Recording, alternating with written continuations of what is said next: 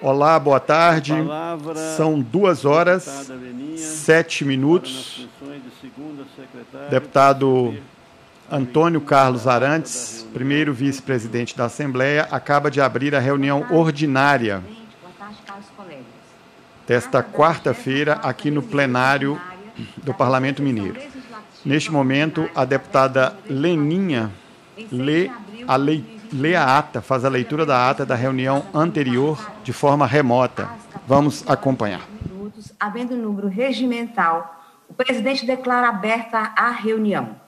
O deputado Cristiano Silveira, segundo o secretário Addoc, procede à leitura da ata da reunião anterior, que é aprovada sem restrições.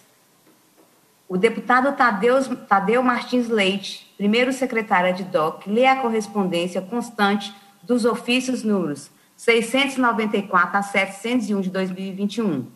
Isto posto, a presidência determina que seja feito um minuto de silêncio em sinal de pesar pelo falecimento do senhor Hans Eberhard Eichinger, gerente de produtos de gastronomia, turismo, hospedagem e lazer do SENAC e membro do Conselho Estadual de Turismo.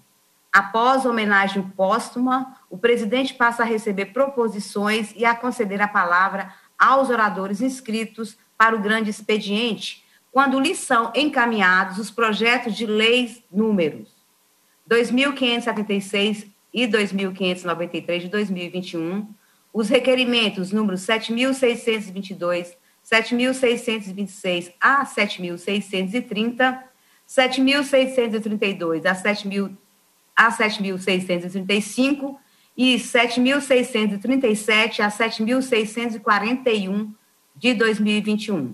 E comunicações do deputado Sávio Souza Cruz, Cássio Soares, Carlos Pimenta e Celinho Citrocel.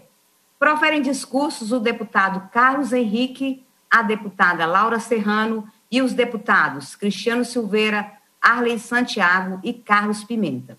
Não havendo outros oradores inscritos, passa-se a segunda parte da reunião em sua primeira fase, momento em que a presidência informa ao plenário que foram aprovados, nos termos do acordo de líderes acolhido pela decisão da mesa, publicados no Diário do Legislativo de 25 de março, os requerimentos, números 7.200, 7.201, 7.205, 7.208 a 7.210, 7.212, 7.213 e 7.223 a 7.225 de 2020, 7.226, 7.228, 7.229, 7.231, 7.232, 7.234, 7.235, 7.237 a 7.241, 7.243, 7.252 a 7.259, 7.265, 7.282, 7.564, 7.588 a 7.593, 7.509, 595 a 7.598, 7.601, 7.603, 7.606, 7.608, 7.610 a 7.612, 7.614, 7.615, 7.619, 7.621 e 7.625 de 2021 e da Ciência da Comunicação, hoje apresentada pelo deputado Cássio Soares, indicando as deputadas delegada Sheila Ione Pinheiro e os deputados Carlos Pimenta, Dorgal Andrade, Andrada e Fernando Pacheco para vice-líderes do bloco Minas São Muitas. A seguir, são submetidas à votação nominal e aprovados, cada um por sua vez, os requerimentos número 3.035, 3.847, 4.023, 4.141 de 2019, 7.149 de 2020. Este na forma do substitutivo número 1, 7.271 2021, na forma do substitutivo número 1, 7.310 e 7.604 de 2021 Nesse passo, o presidente verifica de plano a inexistência de coro para a continuação dos trabalhos e encerra a reunião, convocando as deputadas e os deputados para a ordinária de amanhã, dia 7, às 14 horas, anunciando a ordem do dia. Levanta-se a reunião. Essa é a ata, presidente. Muito obrigado, deputada Veninha. Em discussão ata. Não havendo quem sobre ela se manifeste, dou-a por aprovada.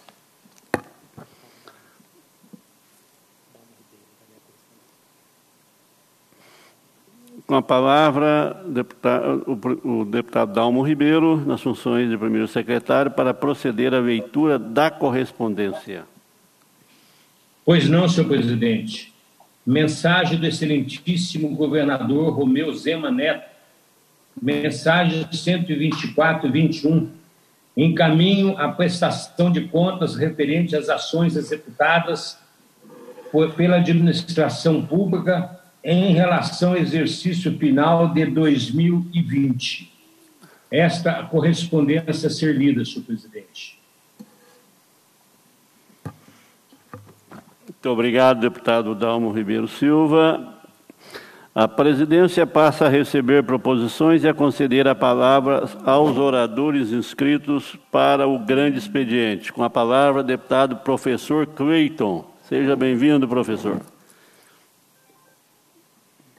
Obrigado, presidente, a quem quero saudar e agradecer pela pelo carinho, pelas orações. Em seu nome, quero agradecer também todos os deputados e deputadas que, nesse momento difícil pela qual passei, estiveram aí presentes de uma certa forma na minha vida. E é uma grande alegria poder retornar aqui nessa tarde.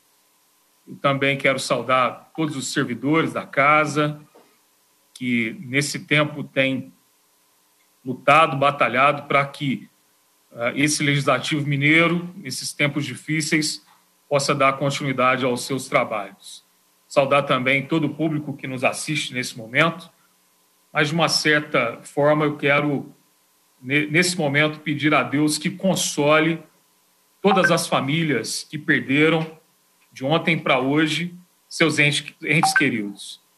Nós é, amanhecemos com a notícia de que o nosso estado bateu o recorde de número de mortos. Foram 508 de ontem para hoje. E tenho certeza que todos os deputados e deputadas dessa casa têm sofrido nesses dias com a falta de leitos, com a falta de UTIs.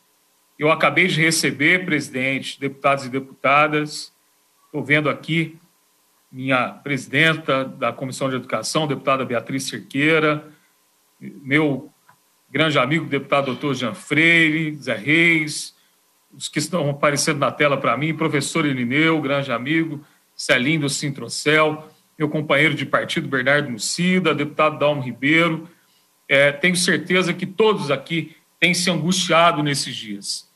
Recebi agora há pouco de Três Corações, deputado Dalmo Ribeiro, comunicado que o Hospital São Sebastião está sem o kit Covid, que alguns chamam também de kit intubação. É o verdadeiro kit Covid, que é o kit intubação.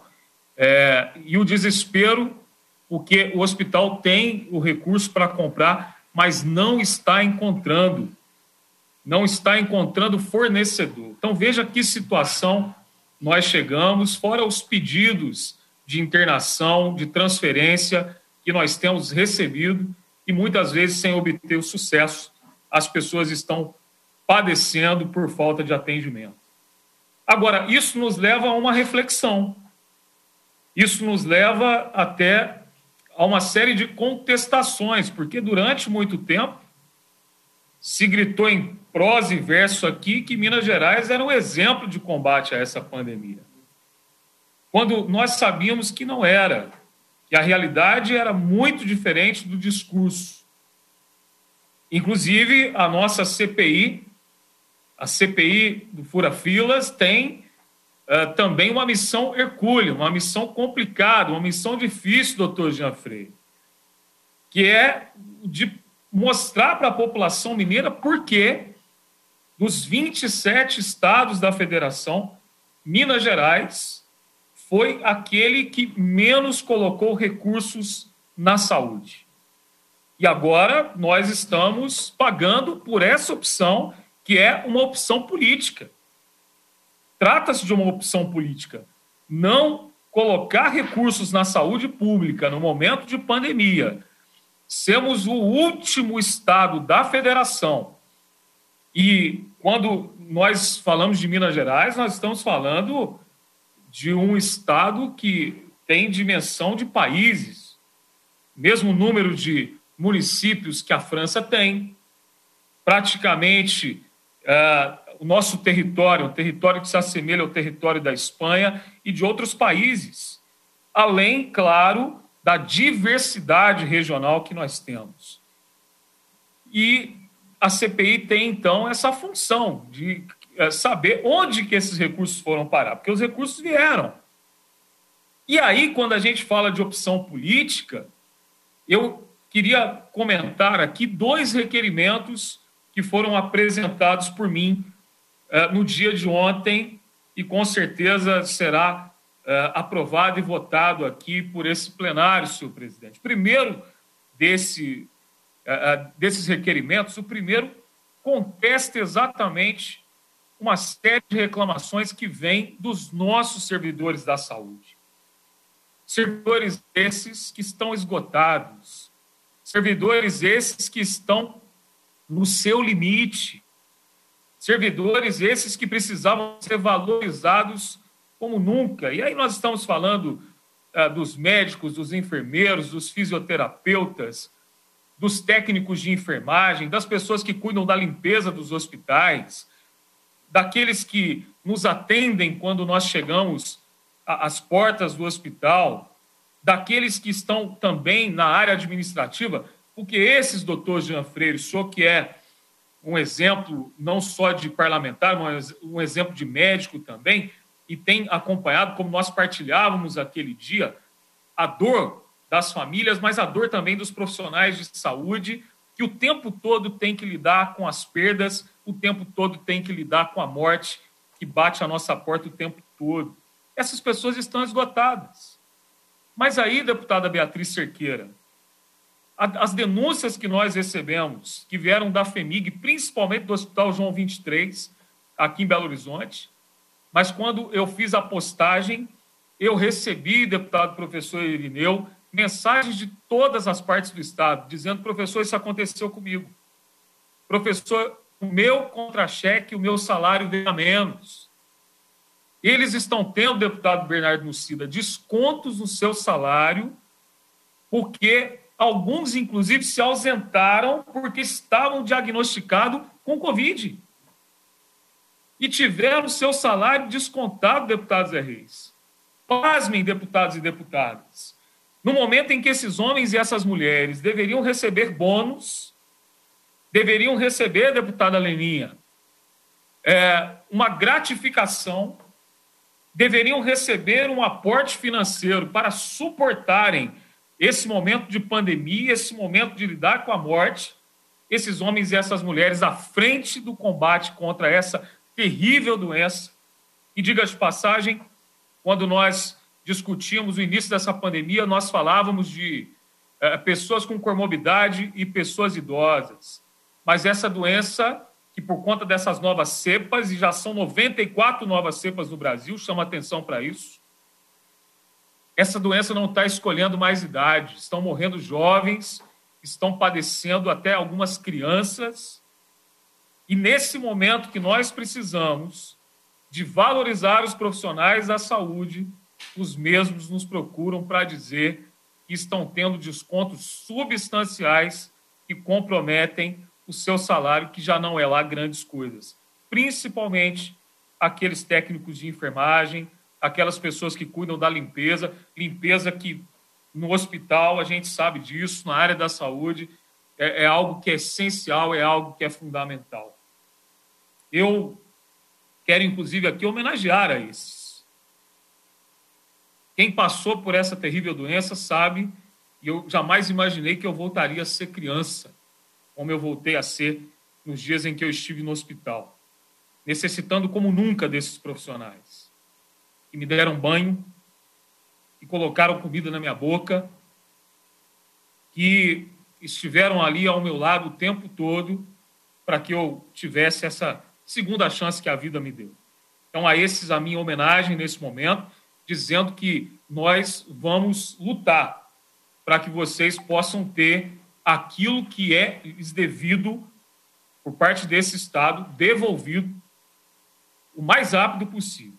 É inimaginável chegar um profissional de saúde nesse tempo e ver um desconto no seu salário porque ele teve que se ausentar, porque foi acometido justamente por esse vírus tão terrível que assola o mundo nesses dias de hoje. O outro requerimento, ele faz também uma contestação a algo que está acontecendo também. É, eu disse no meu último pronunciamento, deputados e deputadas, que eu quero chegar aqui um dia, no plenário dessa Assembleia, e fazer um elogio a esse governo. Mas, infelizmente, é, é, nesses tempos, uh, nós precisamos fazer as críticas, e são críticas pontuais aqui, são críticas construtivas. Mas eu queria fazer uma pergunta aqui é, que nos provoca um debate, que nos provoca é, algo para nós pensarmos. Alguém consegue pontuar aqui para esse deputado, nesses quase dois anos e meio de governo Zema, algo que tenha impactado a vida dos mais pobres no nosso Estado? Algo que venha fazer uma diferença em termos de justiça social na parte social? Infelizmente, eu fiz aqui uh, um retrospecto da minha memória para tentar encontrar algo e não consegui. A questão de justiça social não existe, inexiste no discurso desse governo. E por que, que eu trago essa discussão? Porque se existe um serviço que historicamente presta justiça social ao Estado de Minas Gerais, sobretudo, repito, nesses tempos em que nós precisamos de políticas públicas que impactem a sociedade é a Companhia de Habitação do Estado de Minas Gerais, a Coab. Mas nós estamos recebendo, deputados e deputadas, uma série de reclamações que estão vindo dos prefeitos, de contratos que foram firmados, de contratos que foram assinados, de parcerias que foram constituídas para distribuição de, de casas populares ou de apartamentos populares e que simplesmente nesse ano esses contratos firmados entre prefeituras, Caixa Econômica Federal e Coab estão sendo cancelados. São famílias que poderiam, nesses tempos, chegarem a assumir a sua casa própria, com prestações baixíssimas, é, ajudando na renda, ajudando também a saírem do, do aluguel. Mas vejam só o que, que, que, que esses prefeitos têm recebido. Vou ler para os senhores e para as senhoras aqui uma correspondência que chegou para a cidade de Tambacuri, aí pertinho de Montes Claros, cidade, inclusive, meu grande amigo doutor Jean Freire tem uma atuação, mas chegou para mim essa correspondência aqui, uh, que diz assim: senhor prefeito, como é de seu conhecimento, desde maio de 2017, a Coab Minas, em parceria com o município e com a Caixa Econômica Federal, vem envidando esforços para a implantação do empreendimento, é, traz o nome do empreendimento aqui, cujo objetivo era construir quatro blocos de prédios que abrigariam 64 apartamentos. Abro um parênteses para dizer que 64 famílias foram ludibriadas, estão sendo enganadas nesse momento, não por culpa da prefeitura, muito pelo contrário, por culpa de um contrato que não está sendo mantido pela Companhia de Habitação de Minas Gerais, que nós sabemos, desde quando esse governo assumiu, se tem a ideia de implodir a Coab, se tem a ideia de acabar com ela, e parece que agora isso caminha a passos largos para acontecer. Essas 64 famílias receberam, então, essa correspondência. Porque o aludido empreendimento tornou-se inviável devido ao fato dos prazos terem estourado o cronograma planejado, ficando a gestão da Coab impossibilitada de dar continuidade na construção desse empreendimento. Portanto, vem informar, diz o presidente da Coab, sou Bruno Oliveira Alencar, que, infelizmente, devido ao fato acima apresentado e ao zelo da atual gestão com a transparência nas suas ações, bem como ao rigor com o seu planejamento, a Coab Minas não mais figurará como agente promotor na implementação do empreendimento no município de Tambacuri. Em momento oportuno, a Coab realizará a devida devolução da documentação do empreendimento em tela. Eu quero dizer presidente da Coab que o senhor não vai é, é, é, comunicar apenas dos prefeitos. Nós vamos convocar o senhor na Assembleia. Porque isso aqui é um descaso, um assinte, um desrespeito a essas famílias. Eu estou trazendo 64 de Tambacuri, mas nós sabemos que isso está acontecendo pelo Estado inteiro. Com essa desculpa de que se perdeu o prazo. Quem perdeu o prazo? Como esse prazo foi perdido? Isso aqui é um atestado de incompetência, um atestado assinado que esse governo ele não está nem aí para o que diz respeito a questões sociais. Que esse governo ele não se preocupa com os mais pobres. E quero dizer que esse deputado sempre estará ao lado de quem estiver ao lado dos pobres. E brigarei para que o pobre nesse estado ele tenha o seu direito garantido e aqui está um direito garantido que nesse momento não foi honrado por uma autarquia que pertence a esse governo.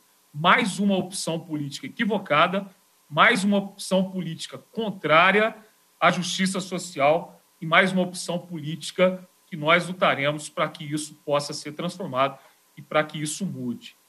Fica aqui a minha fala, senhor presidente, mais uma vez falando da minha alegria de estar aqui entre os meus pares, de estar aqui entre amigos que eu fiz nessa legislatura e que tem esse sentimento que eu trago, que é o sentimento de promoção de políticas públicas voltadas para quem precisa, quem merece. É para isso que existe a nossa atuação parlamentar, é para isso que existe essa Assembleia, para lutar ao, ao, ao lado daqueles que são menos favorecidos e que, nesse tempo, deputada Leninha, estão padecendo é, por um governo que precisa, repito, olhar para a parte social. Olha para o governo aqui do lado, do Espírito Santo. Deputado, o seu tempo já expirou. Obrigado, presidente, obrigado. É, é, desculpa aí por, por, estourar o tempo. Aqui não chegou a campainha para mim, mas, deputado Antônio Carlos Arantes, peço desculpas e uma grande alegria vê-lo, é, porque vê-lo traz aqui o alento de que é, quem está vivo nesse tempo precisa agradecer a cada momento. Muito obrigado. Nós é que agradecemos e tenho certeza que são 76 parlamentares aqui, senhoras e senhores parlamentares, que estão muito felizes em ver Vossa Excelência aí voltando aí à tribuna desta casa. Parabéns e que Deus te proteja e te dê muita saúde. Com a, deputada, com a palavra, a deputada Leninha. Um minutinho. Ok. Desculpe aí, presidente, estava abrindo o microfone. Então, uma boa tarde, presidente.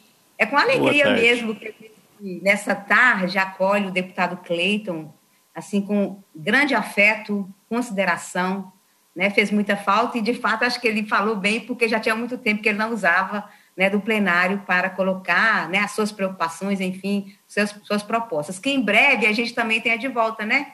O do Luiz Humberto, o Coronel Sandro, são os deputados que ainda estão em processo de recuperação, pelo menos a informação que a gente tem, é, que a gente possa realmente se proteger, ser protegidos nesse momento.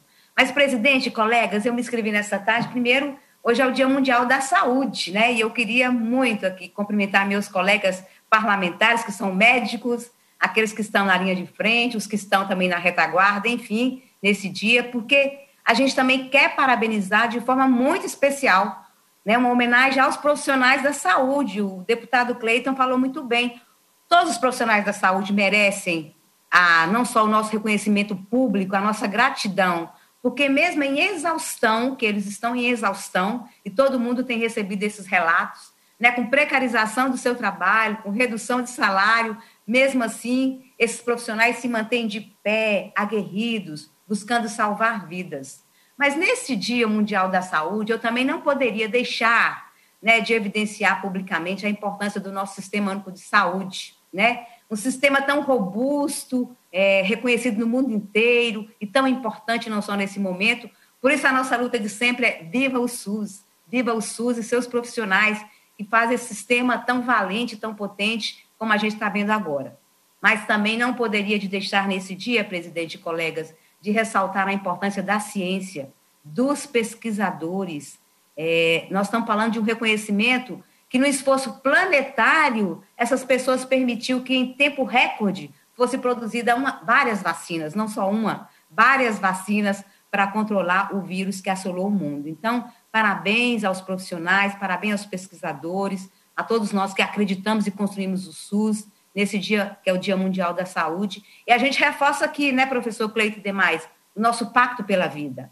As, todas as vidas são importantes, mas as mais vulneráveis são aquelas que nós somos eleitos, né, grande parte de nós é, fomos eleitos para cuidar, para proteger e, acima de tudo, num momento como esse, acudir né, de diversas formas que a gente tem feito é, por onde nós estamos.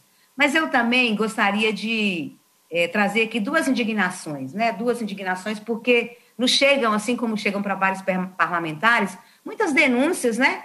Mas de denúncia de maldade, de crueldade, de perversidade do governo com o povo mais pobre e com os trabalhadores e trabalhadoras. O que eu vou relatar aqui, com certeza, presidente e colegas, não está acontecendo só em Montes Claros. Provavelmente é uma deliberação do governo do estado para todos os municípios que compõem né, a nossa, é, o nosso estado de Minas Gerais. Eu recebi com, eu estou falando com muita indignação, mas também com muita preocupação. É que a gente tem visto acontecer, e eu estou falando a partir de Montes Claros, com as denúncias que nos chegaram essa semana. Eu creio que os demais parlamentares da nossa bancada do Norte de Minas devem também ter recebido. E eu acho que essa é uma prática do Estado, porque a Polícia Militar ela vem realizando blitz com a apreensão de veículos e motos, nós estamos falando de carros e motos, pela identificação do não pagamento do exercício 2020-2021 do IPVA. Eu lembro que esse assunto já foi pauta de nossos debates aqui, que nesse período da pandemia, nós estamos há mais de um ano, né, com a crise econômica, é, que, as, que a gente precisava é, tomar providências para o Estado rever as suas cobranças e os seus procedimentos para não penalizar ainda mais as pessoas e os mineiros e mineiras. Eu pergunto, né, como manter em dia o pagamento dos tributos, como o IPVA, se atravessamos a maior crise sanitária e econômica da nossa história? Como exigir que mantenha em dia os pagamentos se falta dinheiro para colocar comida na mesa? As pessoas estão descapitalizadas. Lockdown há mais de um ano, as pessoas perderam seus empregos, os da economia informal não conseguiram manter seus negócios preocupados com dinheiro para pôr comida na mesa, tem que ficar preocupado de pagar os tributos do IPVA, senão o seu veículo vai ser apreendido. Por isso, eu estou protocolando hoje também um pedido de requerimento, eu creio que a maioria de vocês vão concordar comigo, para que, excepcionalmente, enquanto durar a pandemia e a necessidade de medida de isolamento e distanciamento social, seja proibida a apreensão de veículos para identificação do não pagamento do IPVA, e que também seja apresentado outros prazos para o pagamento dessas parcelas faltantes do imposto né, sobre o IPVA. Com essa medida, presidente e colegas, eu espero que a gente possa evitar o endividamento dos proprietários de veículos que já se encontram pesadamente penalizados pela pandemia. É de modo muito especial amparar os trabalhadores e trabalhadoras informais que, inclusive, utilizam seus veículos para garantir o mínimo da sua sobrevivência. Eu estou falando de motorista de aplicativo, estou falando de entregadores de alimentos, né, que estão trabalhando os deliveries. Nós precisamos estar atentos e fortes, mas, sobretudo, é, presidente, e o governo, e os deputados da base do governo, nós precisamos estar sensíveis a este momento. Sensíveis, inclusive, às dores, às aflições. Imagine o pai de família que tem uma motocicleta e que ele está rodando de mototáxi tem o seu veículo apreendido no meio dessa crise que nós estamos. Imagine o cara que está trabalhando delivery com a sua moto e que agora não conseguiu pagar desde o ano passado né, o imposto e agora tem sua moto apreendida. Então, assim, eu estou dizendo de uma atitude perversa, danosa à população mineira, e por isso que é importante que o governo se sensibilize para que a gente possa suspender esse tipo de apreensão, né, e que essa blitz possa é, orientar, não aprender, multar e penalizar as pessoas. Eu penso que a gente, que o governador Zema possa acolher o nosso pedido de providências e suspender imediatamente essas operações junto à Polícia Militar. As pessoas que estão aqui, que são da base do governo, possam escutar o nosso apelo. Não é possível, minha gente, não é possível penalizar ainda mais. Nós estamos, assim, pelo menos nessa primeira fase da onda roxa aqui em Minas Gerais, né, com, de fato, decreto de lockdown em quase todos os municípios. Em Montes Claros não foi diferente.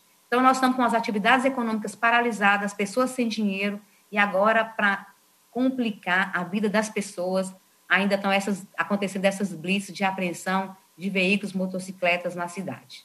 Segunda coisa, também que nos chegou, é que nós já discutimos aqui muito. Me parece que o que a gente discute aqui no parlamento, as nossas preocupações com a população, elas não chegam até o governo ou o governo as ignora completamente.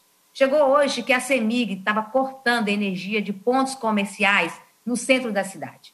Agora a CEMIG não precisa é, chamar o dono do estabelecimento para cortar energia. Ela vai lá no poste, né, a forma como ela está fazendo a ligação, ela vai lá no poste e corta a energia. Mas cortando energia de dono de estabelecimento de atividade alimentar. Pessoas que estão com seus pequenos restaurantes, bares abertos no centro da cidade e que agora tiveram a, né, tiveram a, energia cortada pela CEMIG hoje. Imagina só, sem energia, inclusive, vai perder todo o seu estoque, além de comprometer né, o esforço, que eu falo, é um esforço sobrenatural daquele pequeno comerciante de manter o seu estabelecimento aberto, que é um comércio de alimentação, ter a energia cortada significa comprometer, inclusive, o seu estoque, o estoque de, né, que ele tem guardado lá com muitas lutas, né, com duras penas, Olha, se esse governo não pensou até agora nenhum tipo de fundo e fomento para apoiar os pequenos empreendimentos, né, para apoiar os pequenos negócios das cidades, agora vir dificultar a atividade econômica dessas pessoas, penalizando. Então, nós estamos assim com, também com muita indignação que a CEMIG, que a Copasa possa, de fato, neste momento, orientados pelo governo, com a decisão do governo, né, suspender os cortes que estão realizando, principalmente nos empreendimentos comerciais do centro da cidade.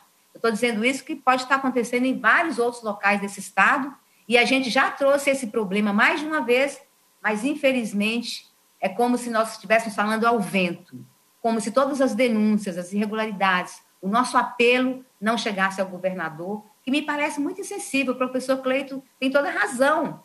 Essa questão social está muito fragilizada. Eu estou falando não só do povo que passa fome, mas do povo que quer um apoio e um fomento para garantir os seus negócios, para manter os empregados, para manter sua atividade econômica depois de um ano nessa crise que nós estamos vivendo.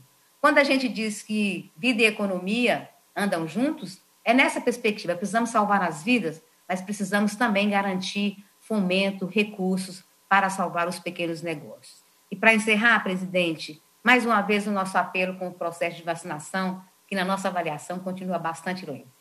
Eu não sou médica, eu sou bióloga, mas eu sei que a, a variante do vírus, que cada vez fica mais potente, vai fazendo a leitura das vacinas que nós estamos utilizando.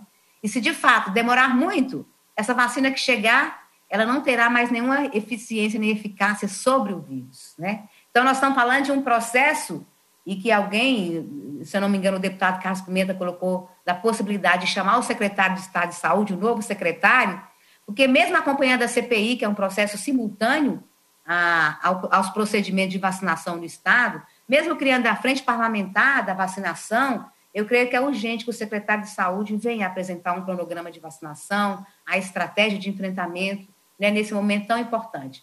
Não tem como a gente ficar, eu acho, né, estendendo o lockdown é fundamental, é fundamental, mas isso só não é suficiente se nós não é, colocarmos no processo uma celeridade da vacinação no estado de Minas Gerais. Então, mais uma vez, eu quero encerrar que a gente possa juntos né, enfrentar os desafios que temos pela frente, mas que o governo Zema possa ser mais célere nos seus processos, para que a gente não tenha que ficar aqui repetindo o que a gente falava um ano atrás, da necessidade de Minas Gerais sair dessa situação que está e da necessidade de Minas Gerais, inclusive, sair na frente, liderar um ranqueamento de um estado que em breve terá 100% de pessoas imunizadas contra a Covid. Uma boa tarde e um grande abraço. Muito obrigado, deputada Beninha. Com a palavra, a deputada Beatriz Cerqueira. Com a palavra. Presidente. Presidente, boa tarde. Boa tarde. Boa tarde aos colegas parlamentares. Falarei, presidente, sobre saúde e educação.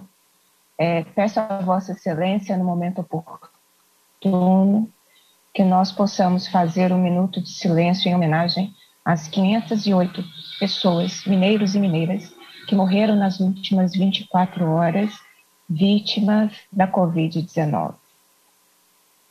Nós fracassamos, a realidade é essa. Nós fracassamos enquanto Minas Gerais, enquanto país. O que nós estamos vivendo é um genocídio. Ontem, os números no Brasil foram de 4.195 pessoas mortas por Covid-19. Isso é um genocídio. Lugar nenhum do mundo acumula, depois de um ano de pandemia, tantas mortes por dia. Nesse momento, há em Minas Gerais 2.900 ações no Judiciário buscando vagas, leitos de UTI e medicamentos. É um fracasso proposital.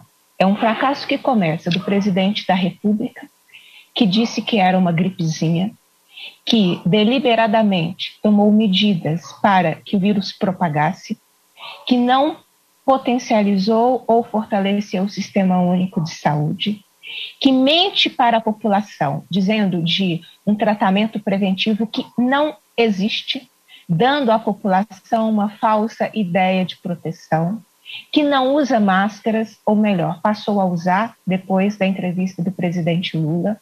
Nós temos um presidente que provoca, por ação e omissão, um genocídio no país. Não é normal. Com mais de 4 mil mortes diárias. Não é natural. 508 pessoas em Minas Gerais mortas por Covid-19. Aí eu venho para a incompetência em Minas Gerais do governo Zema, que criou um hospital de campanha que para nada serviu, que não fortalece os municípios no enfrentamento da pandemia, que teve a irresponsabilidade de também falar deste é, inexistente tratamento precoce para Covid-19 e que me parece que está aguardando o tempo, o vírus ir embora sozinho, porque ele foi um incentivador do vírus, o governador Zema, não é? Ao dizer que o vírus precisava viajar, o vírus viajou, viajou, continua viajando e matando o povo mineiro. E me parece que agora aguarda que o vírus, assim como viajou, pare de viajar. O momento é gravíssimo. E precisávamos ter no Estado uma liderança que pudesse nos guiar no pior momento das nossas gerações. Não temos, estamos sem líderes no Estado e sem líderes no país. E os profissionais de saúde, que há um ano nós estamos aplaudindo, agradecendo, ou fazendo homenagens, estão adoecidos, exaustos, com síndrome de burnout, estão com doenças psíquicas, estão com cortes de salário. Como justificar que as pessoas que estão na linha de frente, que estão no dia dos nossos hospitais públicos, tiveram, como já denunciou o professor Clayton, corte de salário por um decreto existente do governo do estado e que, portanto, por é, muitas vezes não está presente por estar afastado em função de ter testado positivo ou preventivamente é, em casa, tenha tido corte de salário. Então, eu me somo aos parlamentares que já denunciaram para que essa situação seja imediatamente revista. O Estado não valoriza os seus profissionais. A verdade é essa. Pelo menos que não lhes tire o salário. Porque neste ano de pandemia, o nosso legado deveria ter sido fortalecimento do SUS, a valorização das carreiras relacionadas à saúde, salários dignos, concurso público, situações estáveis para estes que estão morrendo por estarem na linha de frente no enfrentamento à pandemia. O governo do estado não teve competência para fazer nada disso. Ao contrário, em 2020 foi o ano que menos investiu em saúde. 65% daquilo que deveria ter chegado, de fato, foi investido em saúde. Ele faz o contrário. Mas que, pelo menos, respeite o salário desses profissionais da saúde. Então, eu quero trazer a minha indignação e quero solicitar, reivindicar, e acho que posso exigir que o governo respeite os profissionais de saúde, que nós não tenhamos que ter os profissionais de saúde protestando por ter tido corte nos salários. É uma vergonha. É de uma incompetência administrativa e de uma desumanidade que, de fato, é, ficará difícil explicar às próximas gerações como os governos, é, além de provocarem esse genocídio, têm tratado os profissionais da saúde. Então, quero deixar esse registro e o meu apoio aos profissionais da saúde do Estado, que têm sido é, alvo de dessa incompetência e dessa desvalorização do governo do Estado. E defendo a sua valorização, a sua carreira, concurso público. Era isso que nós deveríamos é, ter de legado da pandemia. Uma, um grupo de profissionais valorizados, porque eles têm sido essenciais no enfrentamento à pandemia, apesar dos governos estadual e federal que nós temos. A segunda questão que me trouxe ao plenário nesta quarta-feira, presidente, é falar sobre educação. A pandemia é um momento muito excepcional, que, portanto, deveria fazer com que os gestores públicos tivessem zelo ou não implementassem políticas que dependessem de um amplo debate nas comunidades escolares. Não é possível aproveitar a pandemia para implementar propostas sem diálogo, sem que as comunidades possam se encontrar, digo as comunidades escolares, sem que os profissionais possam amplamente debater a proposta, sem que o município possa promover um amplo diálogo com as comunidades escolares. Eu estou me referindo ao projeto Programas Mãos Dadas, a ideia é, de municipalização das matrículas do ensino fundamental. Eu sei que já era a intenção do governo repassar aos municípios as matrículas do ensino fundamental. Mais de uma vez ouvi é, do governo, é, inclusive, a expressão de que Minas Gerais, professor Cleiton, estaria atrasada por ter tantas matrículas do ensino fundamental como se fosse um problema. Não é um problema. Mas, é, nos últimos dois anos, acompanhei exatamente a diminuição, é, a, a, porta de entrada das escolas estaduais serem fechadas pela secretaria para matrícula dos anos iniciais. Agora, a secretaria organizou isso num projeto, num programa, que tem apresentado aos prefeitos, mas que as comunidades não têm acesso. Eu estou acompanhando vários municípios a indignação, o desespero, a falta de informações, não saber o futuro, não saber o que de fato é o projeto. As comunidades estão alijadas da discussão. Nós estamos no pior momento da pandemia. Então, não é possível reunir comunidades para o debate. Elas estão sem o acesso às informações básicas, porque a única coisa que tem é uma apresentação de PowerPoint de um projeto que não diz tudo, o que pretende fazer, os diagnósticos relacionados ao projeto. As comunidades, as escolas estaduais não têm acesso à gestão democrática, que é um princípio da Constituição Federal, o princípio da Constituição do Estado, não são respeitadas. As relações não são democráticas. As diretoras de escola ficam sabendo por terceiros, por notícias, que a sua escola poderá, no próximo ano, perder as matrículas do ensino fundamental. É desrespeitoso com a diretora, é desrespeitoso com o coletivo da escola, com a comunidade escolar, que só ficará sabendo do conteúdo depois da adesão do município que está em curso neste momento. Então, eu faço um apelo para que nós tenhamos o mínimo é, de escuta do povo, quando um governo é eleito, ele não substitui povo. Quando um governador governa, ele não está imune de ouvir a população permanentemente. Eu sei que é muito difícil para esse governo ouvir o contraditório, ouvir opiniões, ouvir, né? Ouvir é muito difícil para o atual governo do Estado. Mas ainda assim, eu faço um apelo para que a dinâmica deste projeto, desse programa, na verdade, como tem sido feito, que essa dinâmica seja suspensa durante a pandemia.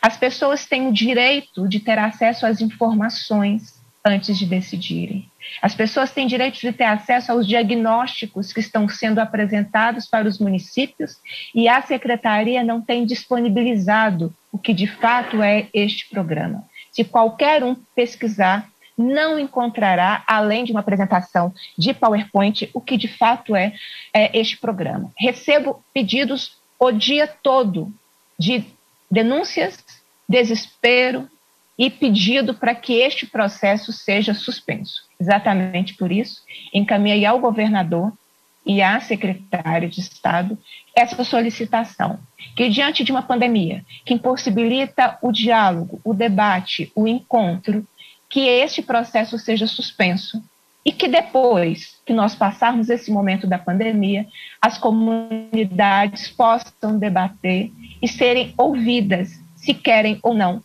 que o seu município e que as escolas estaduais abram mão das matrículas do ensino fundamental. Isso tem muitas consequências no município, porque os municípios deveriam, nesse momento, é, ser empoderados para a universalização da educação infantil, de termos escolas com sedes próprias e não casas alugadas, adaptadas para se tornarem escolas. De nós termos nos municípios profissionais do ensino da educação infantil com carreira, com salário digno, valorizadas, concursadas. Os municípios deveriam ter incentivados e o investimento para que essa fase da educação básica seja universalizada com qualidade. Esse é o meu apelo é, aproveito a oportunidade para socializar essa situação que atinge todo o estado de Minas Gerais, fazer o apelo pelo diálogo, pela transparência, pela capacidade de escutar antes de tomar as decisões, porque a educação não é uma relação autoritária. Todo autoritarismo que passa pela educação fracassa, mais cedo ou mais tarde. Não importa a quantidade de propaganda e de marketing e de controle de opinião que se tenha. Toda ação autoritária, toda ação que não é construída ouvindo profissionais, ouvindo comunidade, ouvindo estudantes e ouvindo as nossas diretoras de escola, ouvindo o sindicato da categoria, sempre essas ações fracassarão. A história da educação pública em Minas Gerais já demonstrou isso. Então, deixo meu registro, deixo meu apelo, termino fazendo um apelo para que nós possamos adotar uma política em defesa da vida, porque nós estamos vivendo uma política da morte. Todos os dias recebo a notícia de mais um profissional da educação que morreu pela Covid-19. Então, é o nosso dever, como detentores de mandatos, que esses mandatos estejam a serviço da vida, porque é a vida que nós temos o dever e a vida com dignidade, que faz sentido estarmos na política, é a defesa da vida. E termino dizendo que nós podemos professar a nossa fé em qualquer lugar, porque Deus está conosco em qualquer lugar. Bastamos que tenhamos a fé e que professemos a nossa fé. Então, a abertura de igrejas e templos é um debate de mercado, de comércio e ideológico no enfrentamento à pandemia. Deixo o meu repúdio em relação a essa situação. Então, essas as minhas considerações, presidente. Finalizo felicitando o professor Clayton. É um prazer, muito feliz de coração vê-lo e desejando pronta recuperação aos nossos colegas parlamentares que ainda enfrentam a Covid-19. Tenho fé de que eles superarão esse momento e que estarão em breve conosco fazendo o debate necessário no parlamento, que é o lugar da diversidade. Muito obrigada, presidente. Muito obrigado, deputada Beatriz Cerqueira. Como Vossa Excelência solicitou, um minuto de silêncio. Então, A presidência, atendendo a solicitação da deputada Beatriz Cerqueira e considerando os óbitos em razão da infecção pelo novo coronavírus no Estado, determina que seja feito um minuto de silêncio em homenagem póstuma às vítimas.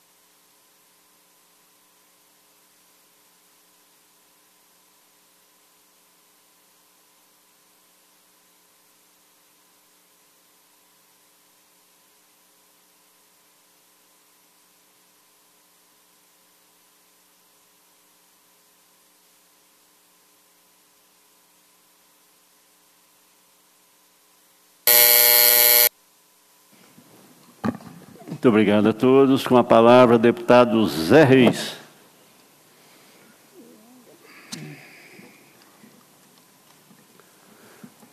Deputado Zé Reis, seu, seu microfone agora está aberto. Senhor presidente, nobres colegas, é uma satisfação estar aqui a todos que nos assistem. Muito boa tarde.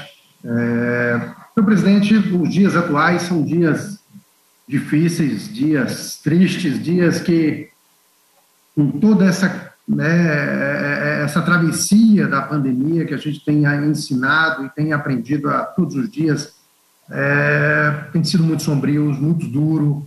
Nunca a sombra da morte esteve tão perto da gente, tão próximo de alguém que amamos, tão próximo de alguém que conhecemos, né? e a gente que vem do interior é uma preocupação enorme.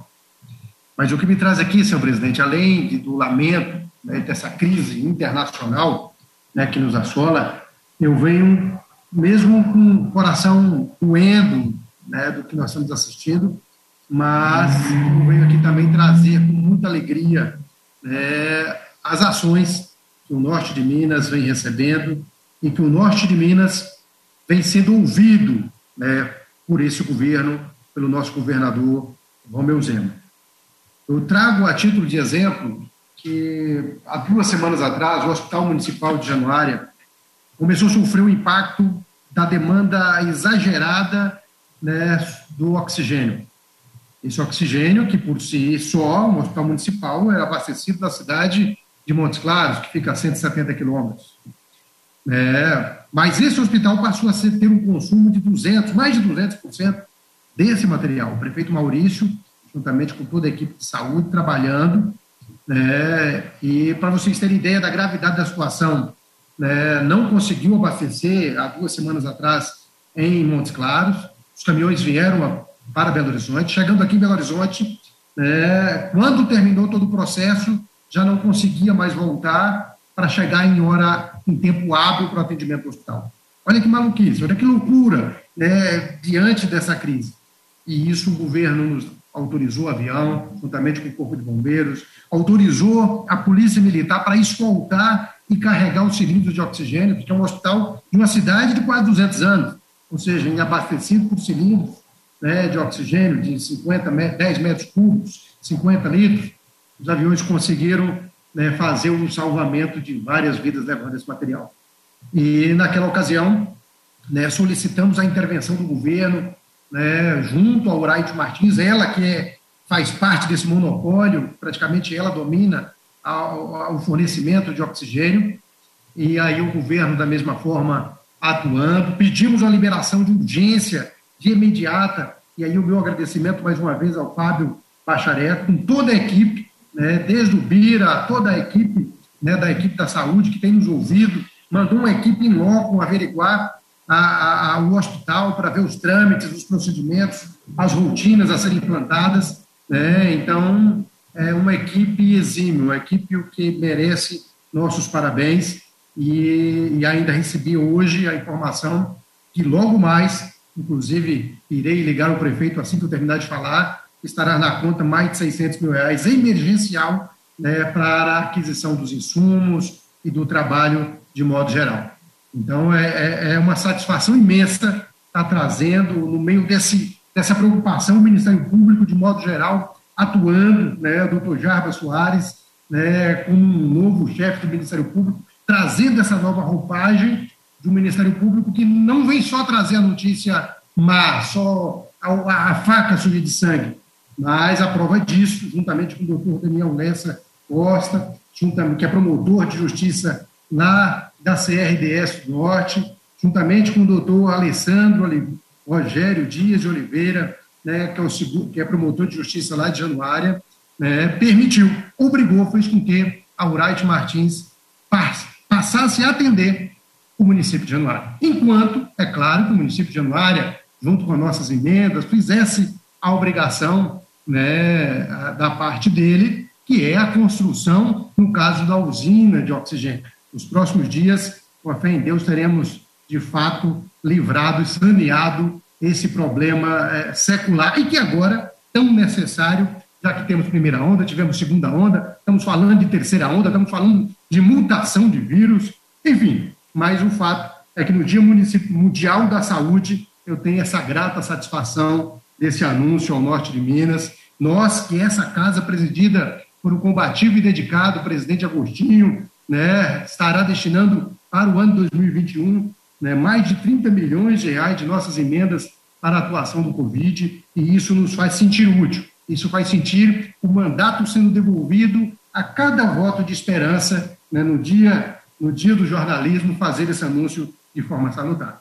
E não menos importante, senhor presidente, eu gostaria aqui também de trazer é, um anúncio que há poucas horas o governador Romeu Zema fez, é a abertura de uma linha de crédito de mais de 300 milhões de reais para nossos municípios. Afinal de contas, afinal de contas, né, o cidadão vive no município, né, a geração de emprego, aquele calçamento que está lá com aquela senhora que saiu do hospital né, com comprometimento, que salvou do Covid, mas está com comprometimento no pulmão, mas está com, com, com, com, com a poeira ou a lama na cara, o BDMG vai propiciar né, a pavimentação daquela rua, vai propiciar aquela água encanada, vai propiciar aquele esgoto, mais de 300 milhões pelo BDMG. Isso né, faz parte de um trabalho do nosso mandato, isso faz parte de um trabalho de um governo sério, de um governo dedicado, de um governo que escuta né, todas as regiões do nosso grande estado de Minas Gerais,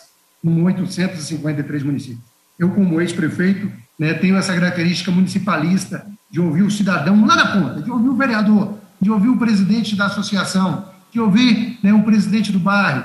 Né, e isso é muito significativo, essas ações tão importantes. É claro que muitos outros anúncios e muitas outras boas notícias estão a caminho e estão chegando por aí. Mas, nesse momento específico, já que meus minutos né, estão limitados e vejo aqui né, já, já, já findando, né, eu gostaria aqui de trazer esse meu agradecimento. E na oportunidade, vejo o nosso sertanejo também, Arlen Santiago, né, pedindo uma parte, concedo, senhor presidente, uma parte ao deputado Arlen Santiago. Deputado Zé Reis, essa questão do oxigênio aí, a todos os deputados, ouvintes, essa questão do oxigênio aí realmente é um caso de polícia. É um caso de polícia, porque você vê o seguinte: hospitais que pagam R$ 4,50 por um metro cúbico de oxigênio, com esse recurso que o governador Zema está mandando agora, quer dizer, eles fizeram então uma nova licitação. Eles entraram na maior cara de pau com o preço de R$ 9,40 e nada acontece. Parece que não tem Ministério Público, não tem Polícia Federal, não tem CAD, né? Quer dizer, é arrochando, coitados hospitais, acabando de quebrar essa saúde aí que é, vem aí sofrendo tanto, né? Porque nós ficamos aí muitos anos né, com o governo federal que não deu é, é, aumento da tabela, tanto que a consulta 10 reais, e agora o oxigênio eles estão querendo é, extorquir os hospitais cobrando mais do dobro do que é o fornecimento normal. Quer dizer, isso aí não é possível. Se não tiver cadeia, é, não tem jeito. Muito obrigado. Maravilha, deputado Allen, uma ótima colocação. Realmente. É, é, então, tem acontecido, decreto, né, a onda.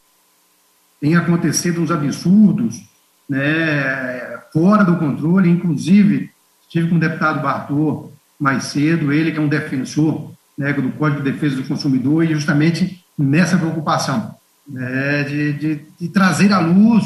Né, nós, inclusive, temos uma caixa, temos um projeto aqui nessa casa para desoneração desses produtos, porque não dá para entender o reajuste exorbitante numa caixa de luva, de uma máscara, de uma simples máscara que a gente comprava antes da pandemia, da pandemia uma caixa de luva de um cirurgião dentista, né, antes da, ou de um médico, de um consultório, comprava aí a 20, 30 reais, hoje está quase 200 reais. Então, assim, é um absurdo, um absurdo. E agora essa informação se nos traz né, do oxigênio, oxigênio que é o básico do básico para a sobrevivência, que é algo né, que está aí à, disposição, né, o oxigênio medicinal, não podemos tolerar né, um reajuste no momento de limitação de armazenamento.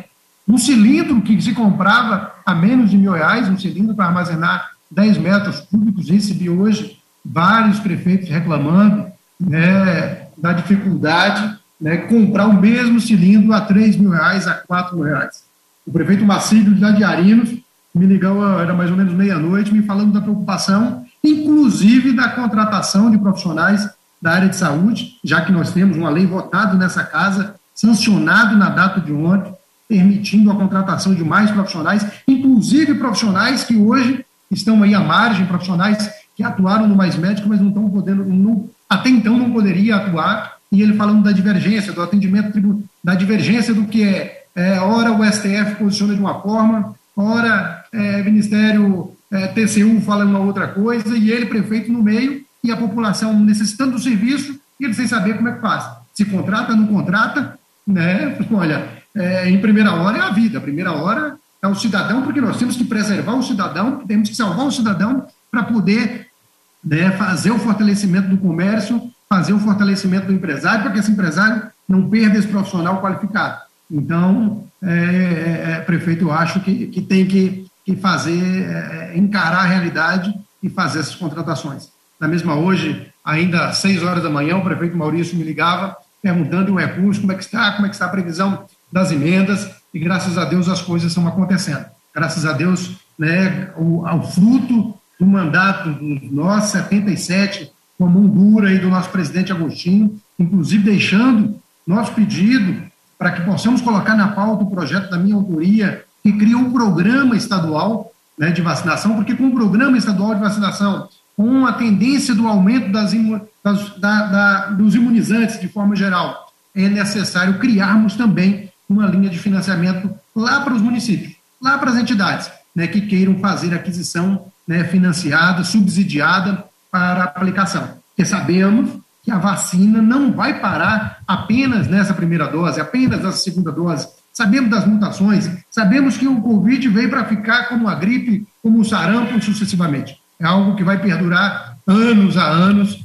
né, para fazer esse controle total e, da mesma forma, né, quem paga o preço é o mais fraco, quem paga o preço é o pequeno empresário que está lá na ponta e se dinamizar, se democratizarmos essa oferta da vacina dentro de um programa específico, seja pelas nossas emendas lá na cidade X, onde nós temos a nossa base, é, fazer a nossa indicação específica para essa aquisição, né? é claro que já temos conquistas é, enormes. O exemplo disso, uma matéria sempre, sempre levantada aqui na, na nossa casa, pelo Sargento Rodrigues, a vacinação das forças de segurança, uma conquista do nosso governador Romeu Zema de fazer essa vacinação.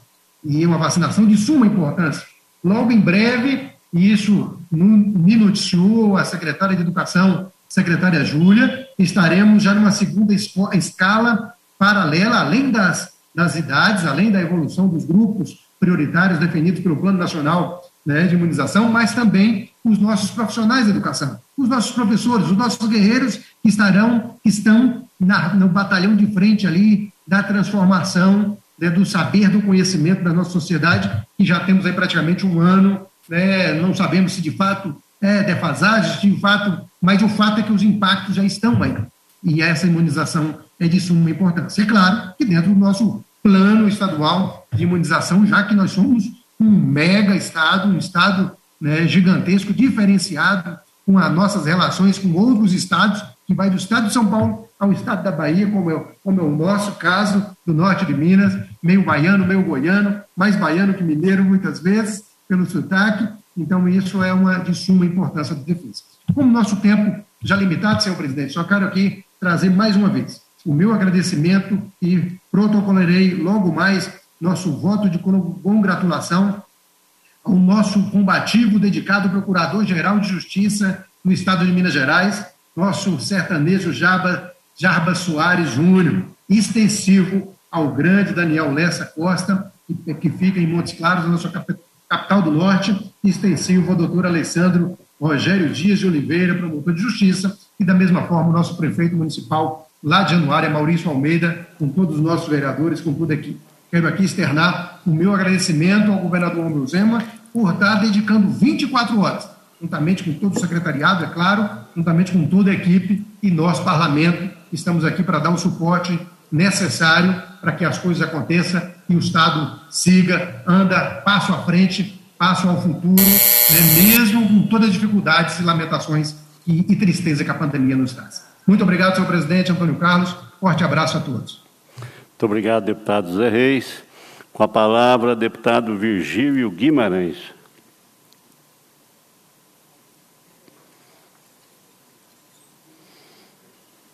Obrigado, presidente. Senhor presidente, senhores deputados e, e deputadas.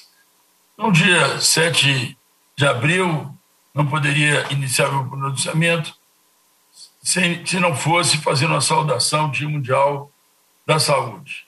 É, é um Dia Mundial da Saúde porque foi precisamente no 7 de abril que foi formalizada a Constituição da Organização Mundial da Saúde. Essa organização já, desde o final do século XIX, já existia embrionariamente, desde a, ainda da Sociedade das Nações, mas foi formalizada de uma maneira que exatamente que me traz aqui fazer esse pronunciamento. Um enfoque novo foi não só uma entidade nova, mas um enfoque muito mais holístico, mais universal, mais completo da questão da saúde. Segundo a Organização Mundial da Saúde, ela se, se, se refere à saúde física, saúde mental e saúde social, não só a cura da doença. A saúde não é apenas a cura da doença. É criar um ambiente saudável no seu conjunto para que tenha o corpo, o, o, a saúde física e a saúde mental. Isso é indissociável da saúde social. Portanto, essa visão faz que todos nós, de alguma maneira, sejamos profissionais da saúde porque tem os profissionais da saúde que estão diretamente no combate à pandemia, as doenças, merecem, nesse momento, uma saudação também muito especial. Um agradecimento de todos nós que representamos o povo mineiro nesse momento, somando também as entidades que representam esses profissionais, que pedem melhores salários, melhores condições de trabalho, porque eles próprios, para garantir a nossa saúde, precisam de ter a sua saúde física, mental e social. Portanto, esse conjunto que a Organização Mundial de Saúde preconiza para toda a humanidade tem que ser aplicado de uma maneira muito carinhosa, muito especial, muito fiscalizada por nós também, para os profissionais de ponta da saúde, uma vez que todos nós, de alguma maneira, devemos, deveríamos ser profissionais da saúde. Até porque a saúde de uma maneira integral exige a questão da moradia adequada com seu saneamento básico. Não é a saúde preventiva apenas, é a saúde que é o bem-estar da sociedade, é de um estado saudável, de uma situação de uma sociedade saudável.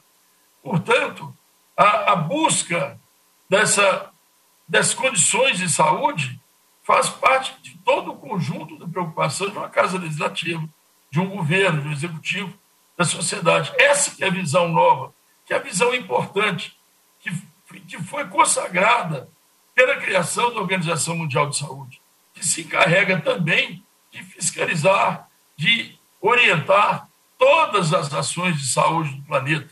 De, sobretudo, sua importância se revela no momento de uma pandemia, uma epidemia mundial.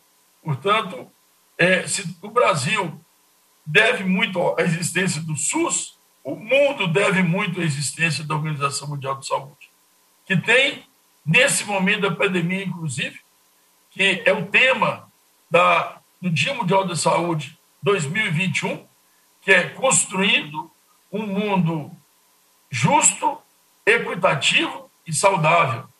Veja bem, essa pandemia chama atenção para a falta de equidade no mundo, desequilíbrio entre as nações, entre as classes sociais. Isso faz parte, portanto, do lema da campanha colocada pela Organização Mundial de Saúde é, esse ano, em 2021, de combater as desigualdades. E isso o Brasil já tem um passo dado, que é a existência do SUS, do Sistema Único de Saúde, criado na Constituição de 88. Eu fiz parte, tive a honra de fazer parte desse grupo de cidadãos que representou a sociedade brasileira e na criação do SUS. Mas que esse passo à frente, para ter a totalidade, a sua eficácia, precisa ter também uma sociedade saudável e, portanto, uma sociedade com equilíbrio, com justiça social, com as condições de salubridade que assim se exigem. Né? Como eu disse, moradias adequadas, transporte que não seja um disseminador de, de, de, de vírus, de pandemia, enfim, nós temos que cuidar da, da, das demais condições. Portanto, nós aqui somos construtores da saúde para poder, enquanto seres sociais, dela usufruir. Fica aqui, portanto, a minha saudação aos profissionais da saúde, de uma maneira muito especial à Organização Mundial da Saúde, aqueles que estão colocando a sua vida em risco em, em, em função de nós mesmos, mas também de nós todos, mas também trazer aqui uma reflexão maior sobre o alcance maior sobre o Dia Mundial da Saúde, que, que é um dia que traz esse elemento mundial, socialmente globalizado, que foi a visão avançada que nos trouxe a Organização Mundial da Saúde, fruto do pós-guerra, é um, criado em, é, ainda na década de 40, logo depois do fim da Segunda Guerra Mundial, que, dando continuidade ao trabalho de saúde que foi praticado em outros momentos difíceis, outras guerras, inclusive a guerra que trava-se hoje contra o coronavírus. Aproveito também, senhor presidente, além dessa saudação ao Dia Mundial da, da Saúde, à Organização Mundial de Saúde, aos profissionais de saúde do Brasil de maneira muito, muito particular, eu queria aproveitar também, uma vez que o, o, nós temos um, uma condição importantíssima, uma, uma, tarefa importantíssima, que é o, o que foi negociado pelo governo do Estado, com o Ministério Público, com o Judiciário, é, sobre a chamado Acordo da Vale. Por que falar isso aproveitando uns minutos aqui de um discurso que devia ser inteiramente dedicado à, à saúde pública? Porque os prazos vão se exaurindo. Existem alguns prazos que estão postos nesse acordo que vão se exaurindo. E a, e a, a, Assembleia Legislativa, que não teve uma participação direta na elaboração desse acordo, porque foi reservada à Assembleia é, ela ter exatamente autonomia para exercer esse papel a ela reservado, que é o papel de discutir esse, esse, esse acordo no seu conjunto. Faço parte da Comissão de Participação Popular, a qual está reservado um papel importantíssimo nesse acordo firmado, que toda a questão de, toda, toda, toda a questão do acordo, segundo os termos do próprio acordo, tem que passar por esse crivo da Comissão de Participação Popular da Assembleia e, e através dela e também de todas as outras, mas que é, nós temos que ter as condições de fazer esse exercício. Portanto, sem querer é, afetar em nada os protocolos já estabelecidos, mas que as comissões poderiam ter, mesmo sem ter o seu funcionamento, suas reuniões regulares da casa, etc., mas ter alguma condição para isso. Que é, o, o, mundo não, não espera, os prazos não, não, não se interrompem, como eu estou chamando a atenção, os prazos dados, por exemplo, para toda a distribuição dos recursos da, da carne do, do Paropeba, já tem seus prazos agora no início do próximo mês. E cabe essa discussão.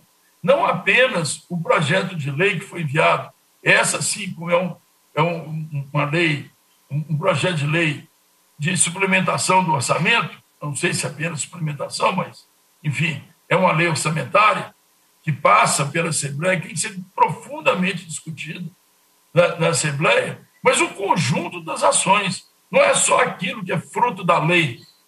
Isso é, é constitucional. O que é lei orçamentária, a Assembleia tem que votar. Mas aquilo que não é, e que foi fruto de um acordo do Executivo e do Judiciário, esse acordo do restante dos recursos que estão postos, inclusive aqueles que serão geridos pelo Ministério Público e não pelo Executivo, mas também esses, e eles estão sobre esse todo, sobre é, é, esse palio que é a participação popular. A nossa comissão, presidida pelo nobre deputado Marcos Lemos, e tem também a participação do deputado Celise, também do, do deputado Raul e do deputado professor Cleiton, nós precisamos de ter essa condição de, de cumprir aquilo que nos foi atribuído. O, o, nós não basta criticar que a Assembleia não participou. Lá diz, a Assembleia participa no momento seguinte. Como? Ela tem uma comissão específica, comissão da participação popular. E lá atribui a comissão do orçamento vai discutir a, parte orçamentária. Claro que a Assembleia toda, e não apenas a comissão de orçamento, e a comissão de participação popular, ela tem que ter condições de cumprir o seu papel, que é o papel de ver o conjunto das ações que estão não só do, da sua implementação, mas da sua definição, que apenas os quantitativos estão definidos. Quais serão essas ações? E aqui é muito bem lembrado aqui pelo orador que me antecedeu, o, o nobre deputado Zé Reis, é, fez uma referência nominal ao presidente do nosso Ministério Público, o nosso companheiro lá de, do, das Barrancas do São Francisco, o Jago Soares, nosso, nosso confrade, nosso amigo, ele teria toda a condição de participar conosco, de debater, de, de ter essa colaboração com o, o, o legislativo. Portanto, eu não, não, estou entre aqueles que, que veem criticamente a não participação da Assembleia naquele momento. Não. O, eu, eu vejo que foi atribuído um papel importantíssimo para a Assembleia, para o conjunto, o conjunto das ações. O conjunto das ações está lá, está escrito, todos assinaram, não precisa chamar de Assembleia. A Assembleia, naturalmente, é o órgão que tem que participar. E, e, mas, para isso, a própria Assembleia tem que ter o ânimo de participar, ter vontade de participar, de levar o, o ponto de vista, inicialmente através da Comissão de Participação Popular, é verdade, mas todos têm que participar. Todos de, de, de, é, é, é, deverão, mesmo que isso não seja um ponto específico da pauta legislativa que está cingido essa, essa é, é, digamos, essa obrigação legiferante é ali no, no, no projeto que trata do, da questão orçamentária. Mas todo o restante passa também pelo crivo da Assembleia, pela, através dessa importante comissão, que eu, inclusive foi um dos, fatores que me levou a fazer a opção por ela. Então, é, é por, por essa comissão. E, e, e, nós temos que desempenhar. Agora, do jeito que está, fizemos um, alguma troca de, de, de, informações entre membros da comissão, fica até um, um, tanto difícil. Então, é necessário que encontremos uma maneira de, de dar uma formalidade também para que tenhamos a, a, a, as diversas ações de participação popular, tenhamos ter, ter ali, distribuir responsabilidades, fazer as reuniões, trazer os relatórios para o conjunto da Assembleia, participar ativamente também. É nesse sentido que faço um apelo aqui à mesa diretora, de uma maneira muito especial, é, além da mesa diretora, ao Colégio de Líderes, e de uma maneira muito especial ao nosso presidente, deputado, nobre deputado Agostinho Patrus. Nesse sentido, fico aqui ao lado da saudação Dia Mundial da Saúde. Também o meu apelo para que, de uma maneira saudável, que é um mundo saudável, justo, equitativo e, e saudável, como nos conclama ao planeta a OMS, fazer que isso se estenda também à ação da participação popular, da participação da Assembleia na construção desse, desse remédio que nunca será suficiente para o desastre crime que foi aquele hecatombe em Brumadinho. Entendido? Muito obrigado, deputado Virgílio Guimarães. Com a palavra, a deputada Ana Paula Siqueira. Tem dois minutos. Se você quiser preferir cinco minutos, no final eu posso te passar também. Presidente, vou aproveitar esses dois minutos aqui para fazer o destaque do Dia Mundial da Saúde. Os deputados e as deputadas que me antecederam trouxeram vários aspectos importantes para a nossa reflexão no dia de hoje. E eu quero dizer aqui da importância do fortalecimento da saúde pública aqui no Brasil. É hoje, dia 7 de abril, uma data triste para Minas Gerais, a data que marca, é, infelizmente, lamentavelmente, um recorde de óbitos, né? 508 vidas perdidas em 24 horas no estado de Minas Gerais por Covid-19. No Brasil já se somam mais de 337 óbitos e a gente precisa aproveitar desse dia de celebração do Dia Mundial da Saúde para dizer da importância do SUS e como que o SUS é, foi e é fundamental para evitar catástrofes ainda maior, né, do que nós já estamos vivendo aqui, lamentavelmente com essa pandemia do COVID-19. O Sistema Único de Saúde é o sistema que traz como os princípios básicos a universalidade, a integralidade e a equidade. E eu tenho a certeza, presidente, que agora, depois de tudo que nós vivenciamos nesses mais de um ano de enfrentamento a essa pandemia, há uma ação completamente é, irresponsável do governo federal. A nossa população sabe e reconhece a importância do SUS, porque todos que estão sendo vacinados, ainda que nós estejamos aqui lutando para que as vacinas cheguem rápido para todos e para todas, todas as vacinas estão sendo aplicadas através do sistema de saúde, o que mostra o quão importante é esse sistema no nosso país.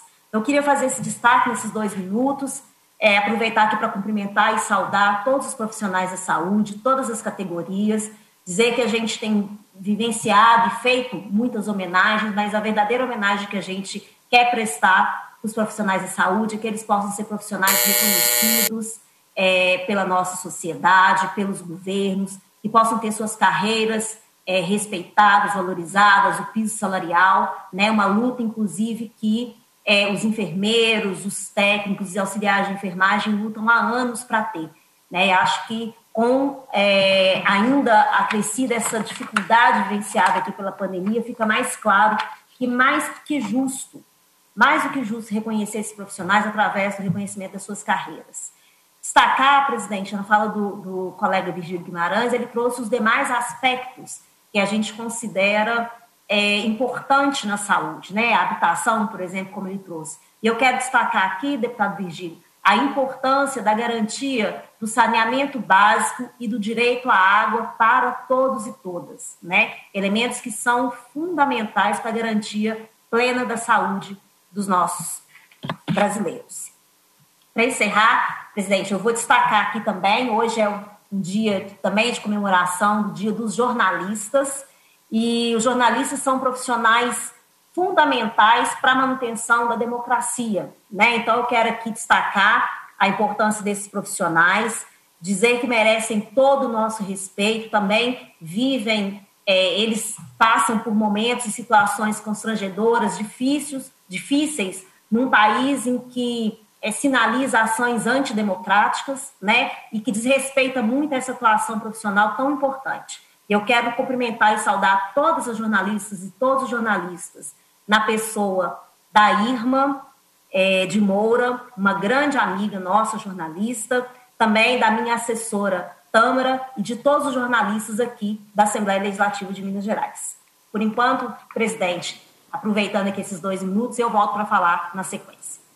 Muito obrigado, deputada André Ana Paula Siqueira.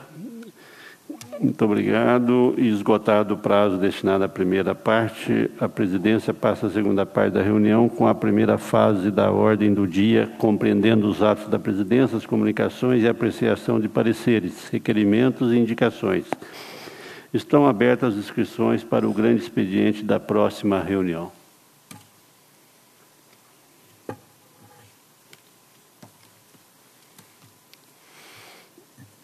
A presidência informa ao plenário que, nos termos do acordo de líderes acolhido pela decisão da mesa, publicado no Diário do Legislativo de 25 de 3 de 2021, foram aprovados conclusivamente pela mesa da Assembleia os seguintes requerimentos. Requerimentos número 7.286 e 7.325 de 2021 do deputado Antônio Carlos Arantes Requerimento 7.287 de 2021 do deputado professor Cleito. Requerimento número 7.289 a 7.298 de 2021 do deputado Gil Pereira.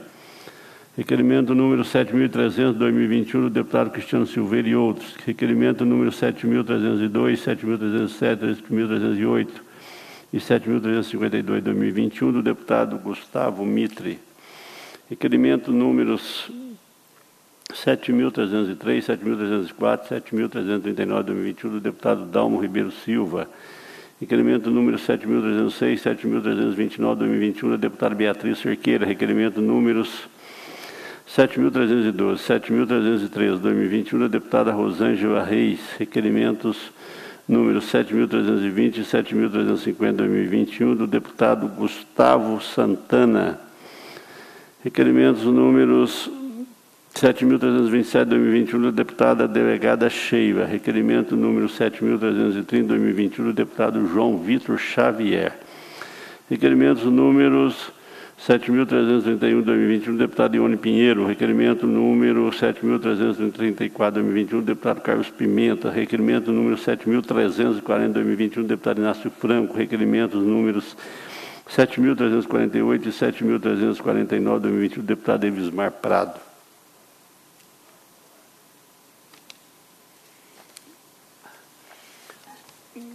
Publique-se para os fins do artigo 104 do Regimento Interno.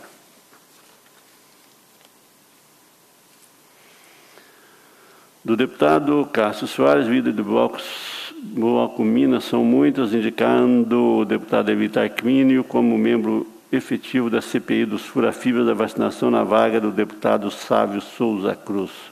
Ciente, designo as comissões.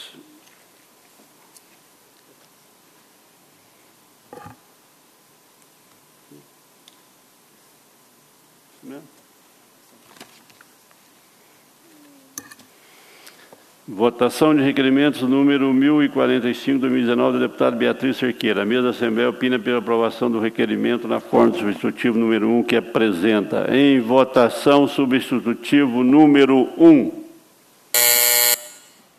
Hoje nós temos 12 requerimentos da pauta do plenário aqui na Assembleia. O primeiro a ser votado da deputada Beatriz Cerqueira requer seja encaminhado ao diretor-geral do Departamento de Edificações e Estradas de Rodagem do Estado de Minas Gerais, pedido de informações sobre o andamento das obras de duplicação da rodovia MG 050, previstas no termo aditivo firmado entre a concessionária Nascente de Minas e o governo do estado, especialmente sobre o trevo que dá acesso ao município de Fortaleza de Minas.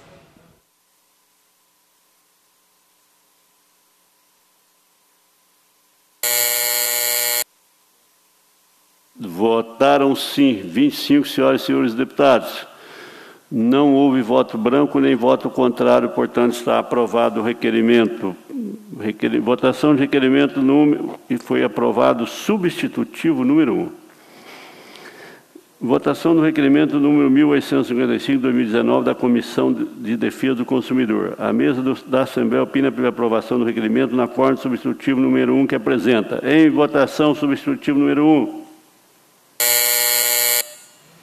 Este é o segundo requerimento desta tarde da Comissão de Defesa do Consumidor, que pede seja encaminhado ao secretário de Estado de Meio Ambiente e Desenvolvimento Sustentável pedido de informações sobre o plano de investimento para garantia da continuidade e da universalidade dos serviços de fornecimento de água potável nos municípios de Timóteo, Coronel Fabriciano e Ipatinga. E o plano de investimento para universalização do serviço de coleta e tratamento de esgoto sanitário nos três municípios da, do Vale do Aço. Votaram sim 27 senhoras e senhores deputados. Não houve voto branco e nem voto contrário, portanto, está aprovado o substitutivo número 1.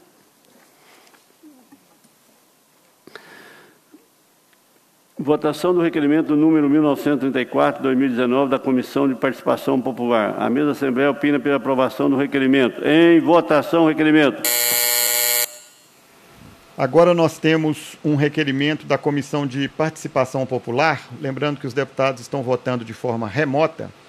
Este requerimento pede seja encaminhado ao diretor-geral do Instituto de Desenvolvimento do Norte e Nordeste de Minas Gerais um pedido de informações sobre o quantitativo atual de poços tubulares existentes e também em operação no estado em especial nas regiões dos vales do Jequitinhonha e do Mucuri.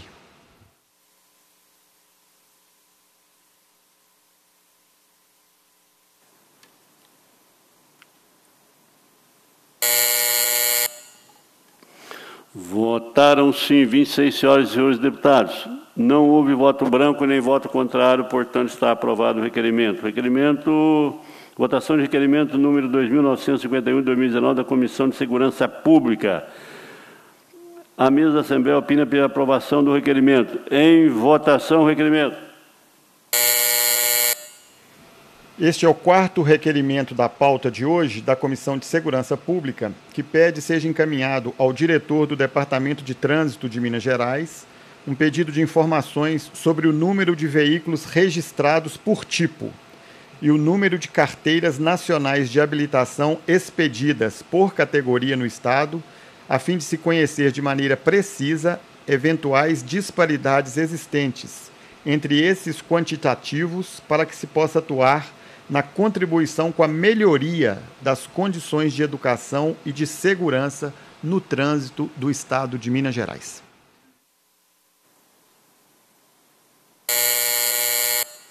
Votaram sim 28 senhoras e senhores deputados. Não houve voto branco nem voto contrário. Portanto, está aprovado o requerimento. Votação de requerimento número 3.857-2019 da Comissão de Participação Popular. A mesa da Assembleia opina pela aprovação do requerimento. Em votação, requerimento. Temos agora mais um requerimento da Comissão de Participação Popular nesta tarde, este requer seja encaminhado à Secretária de Estado de Agricultura, Pecuária e Abastecimento pedido de informações sobre os critérios adotados para a classificação dos municípios com vistas à inclusão em programas de regularização fundiária de terras devolutas e de territórios coletivos.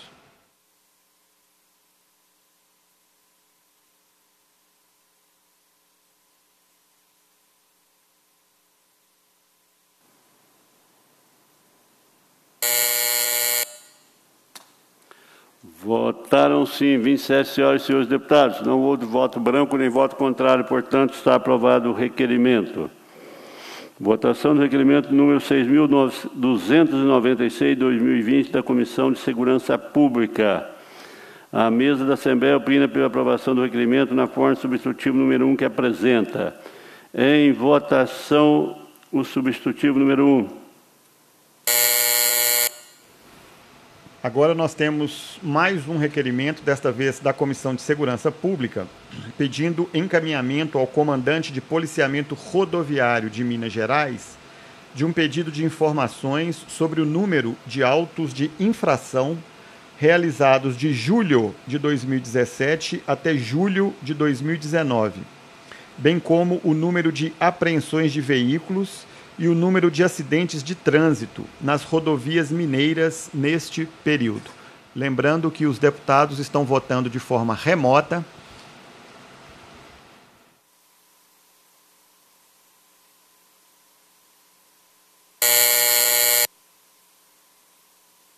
Votaram sim 29 senhoras e senhores deputados. Não houve voto branco nem voto contrário. Portanto, está aprovado o substitutivo número 1. Votação de requerimento número 6.383, 2020, da Comissão de Administração Pública. A mesa da Assembleia opina pela aprovação do requerimento. Em votação, requerimento. Este é o sétimo requerimento votado neste momento, nesta tarde, aqui no plenário da Assembleia. É um requerimento da Comissão de Administração Pública que pede seja encaminhado ao secretário de Estado de Planejamento e Gestão e também ao presidente do Instituto de Previdência dos Servidores do Estado um pedido de informações sobre a fonte de recursos do orçamento do IPSENG utilizada para pagamento de despesas judiciais classificadas nos encargos especiais. Vamos acompanhar o resultado desta votação que se dá pelo plenário da Assembleia.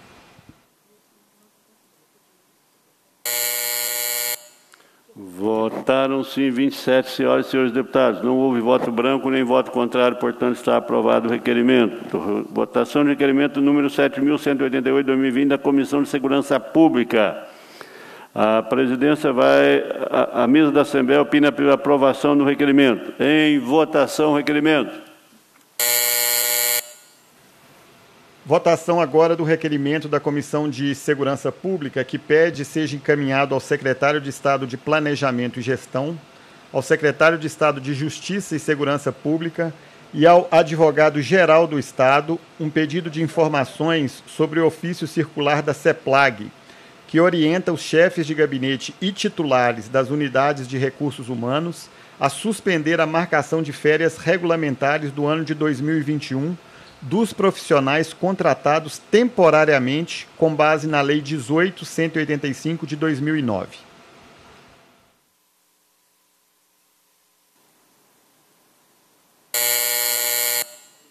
Votaram sim 28 senhoras e senhores deputados. Não houve voto branco nem voto contrário. Portanto, está aprovado o requerimento. Requerimento número 7.188-2020 da Comissão de Segurança Pública não, votação de requerimento número 7.261 2021 do, dos deputados Sábio Souza Cruz, professor Coelho e João Vitor Xavier. A mesa da Assembleia opina pela aprovação do requerimento. Em votação, requerimento.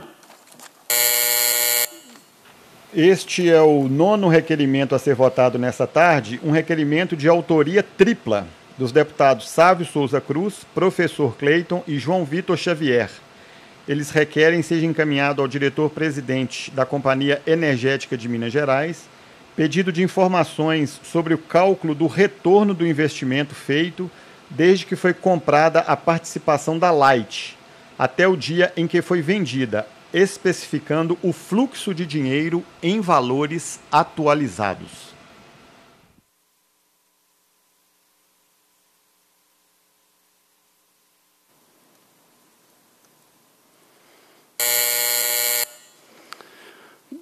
Votaram sim 28 senhoras e senhores deputados. Não houve voto branco nem voto contrário, portanto está aprovado o requerimento. Votação de requerimento número 7.269-2021 dos deputados. É o mesmo? É o segundo? Isso é o segundo, né? Aqui? Dos deputados professor Cleide Salvo Souza Cruz e João Vitor Xavier. Novamente. A mesa da Assembleia opina pela aprovação do requerimento na forma do substitutivo número 1 um, que apresenta. Em votação, substitutivo número 1. Um. Acompanhamos agora a votação de mais um requerimento e novamente de autoria de três deputados, professor Cleiton, Sávio Souza Cruz e João Vitor Xavier, que pedem seja encaminhado ao assessor especial da Secretaria de Estado de Desenvolvimento Econômico pedido de informações sobre a divulgação feita por ele em uma rede social em que diz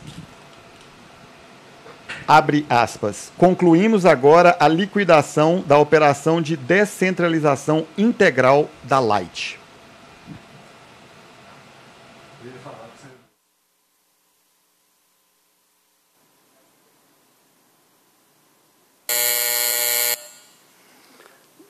Votaram sim 27 senhores deputados não houve voto branco e houve um voto contrário. Portanto, está aprovado o substitutivo número 1. Votação de requerimento número 7.337 de 2021 da deputada Ana Paula Siqueira. A mesa da Assembleia opina pela aprovação do requerimento. Em votação, requerimento. Este é o penúltimo requerimento da pauta desta quarta-feira da deputada Ana Paula Siqueira, que pede seja encaminhado ao secretário de Estado de Governo um pedido de informações sobre as medidas adotadas pelo Estado para a regulamentação da Lei número 13.964 de 2001, que dispõe sobre a concessão de incentivo ao município que implantar programa de aleitamento materno. Lembrando mais uma vez que todos os deputados estão votando de forma remota por causa das restrições impostas pela pandemia da Covid-19. Votaram sim 30 senhoras e senhores deputados. Não houve voto branco nem voto contrário, portanto, está aprovado o requerimento. Votação de requerimento número 7.371 de 2020 do deputado Fernando Pacheco. A mesa da Assembleia opina pela aprovação do requerimento. Em votação, requerimento. Este é o 12 e último requerimento da pauta de hoje, do deputado Fernando Pacheco, que pede seja encaminhado ao diretor-geral do Departamento de Edificações e Estradas de Rodagem do Estado de Minas Gerais e também ao secretário de Estado de Infraestrutura e Mobilidade um pedido de informações sobre o andamento das obras do trecho de 6 quilômetros e 400 metros da rodovia municipal denominada Contorno Cataguases, que interliga a MG 288 à BR 120.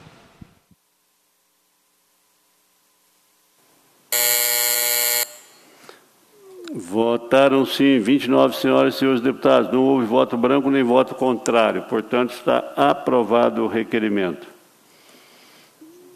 Deputado Dalmo Ribeiro pedindo declaração de voto. Cinco minutos. Deputado Dalmo Ribeiro.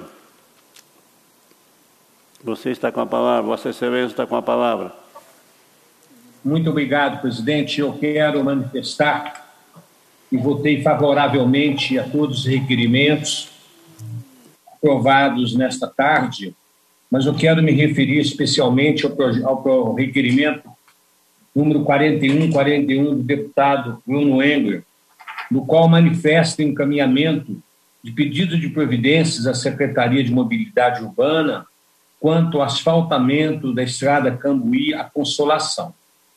Faço muita questão de dizer isto, parabenizando o deputado, mas dizer que é uma pauta há muitos anos que estamos buscando uma solução. Várias reuniões já pudemos participar com o nosso secretário Marcato, com o doutor Fabrício, de saudosa memória, com o prefeito Tades, que está liderando todo esse processo, tendo em vista a importância que essa estrada representa para a nossa região. Também quero manifestar, em decorrência que as decisões já foram tomadas pela, pela mesa diretora constantemente quanto à participação dos deputados, indicar trechos para merecer por parte do governo asfaltamento, melhorias, esse trecho já está contemplado também. Então, uma alegria muito grande Já tivemos com o secretário Marcato, já pudemos levar para ele essa demanda que há muito tempo que toda a região está pedindo. Então, eu quero, em primeiro lugar, aproveitar o ensejo para parabenizar o secretário Fernando Marcato, que tem trabalhado muito, fazendo um esforço muito grande.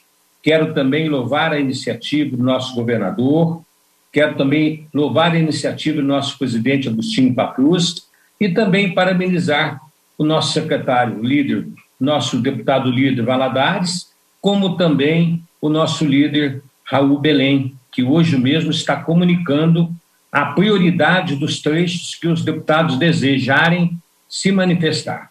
Então, quero, mais uma vez, manifestar que nós temos muito interesse, sim, pela, pelo início das obras, para, pela conclusão do projeto e, consequentemente, o início das obras que vem aí de consolação a Cambuí, passando por Corpo do Bom Jesus. Também, senhor presidente, eu quero manifestar nesse momento, quando eu declaro voto, a preocupação que estamos aqui no nosso sul de Minas. Estamos aqui desde horas da manhã buscando vagas, inclusive em hospitais. Vossa Excelência sabe do nosso compromisso, a nossa responsabilidade com nossa região. Estamos desde as primeiras horas buscando vagas em todos os hospitais da nossa região. Não temos nenhuma vaga.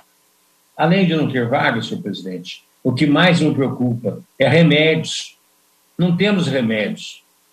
Já fizemos um requerimento ao nosso secretário, fizemos um apelo a ele para que possa mandar pelo menos relaxante muscular para intubação de nossos pacientes. Não conseguimos. Há quanto tempo que estamos pedindo? O Hospital de Extrema, de Pouso Alegre, Três Corações, de Varginha. Acabei de falar neste momento agora com o Hospital de Santa Rita do Sapucaí, nós não temos remédios para acompanhar o paciente através das suas internações. Então, eu quero, neste momento, fazer esse apelo, fazer esse apelo mesmo, para que o secretário possa nos dar uma atenção.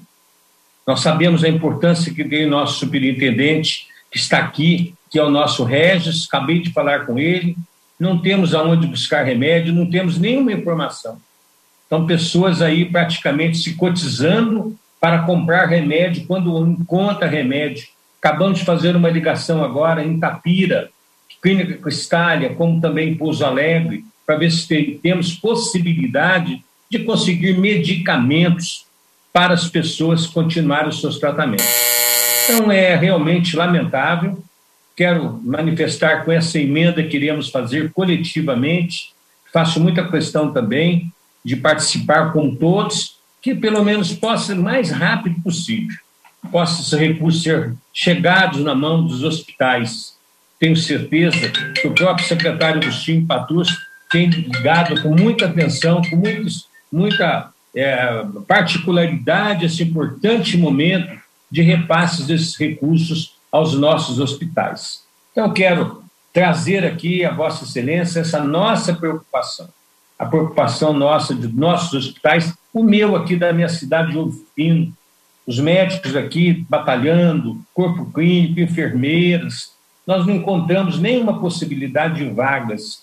Então, Vossa Excelência, que é da nossa região, pode ter certeza que a situação é dramática. Em todos os hospitais. Senhor pega aí Poços de Caldas, através do nosso Moscone, que já tem feito um trabalho excepcional, com a sua dedicação, com o seu conhecimento, como também Machado, que é a referência que temos. Enfim, a situação, senhor presidente, está muito preocupada, muito preocupante. E o externo aí, com muita tristeza, muita tristeza mesmo. Eu estou aqui praticamente no meu, meu escritório, batalhando ao lado, ao meu lado aqui, o Zé Alex, que praticamente me acompanha, o nosso querido ex-vereador Jacaré, que está aqui também nos ajudando a buscar essas soluções aí de internamento, de remédio, em vários hospitais. Então aqui fica a minha, a minha preocupação muito grande. Não é indignação, mas é o meu apelo para que o nosso secretário, hoje eu mandei várias mensagens à secretaria, para que possa pelo menos nos ajudar neste momento difícil que estamos passando, perdendo vidas, e vidas preciosas vidas que realmente sagradas de famílias, né? Então, fico aqui, senhor presidente, e tenho certeza que vamos buscar, com certeza, aí uma atenção especial do nosso secretário, do nosso governador e, consequentemente, diminuir a dor de todos que estão faltando, é a medicação e a melhoria das nossas vidas. Muito obrigado, senhor presidente, o meu respeito a Vossa Excelência e tenha certeza que estamos juntos. Muito obrigado a todos. Muito obrigado, deputado Dalmo Ribeiro. Gostaria de passar a palavra também para a declaração de voto, deputado Arlen Santiago.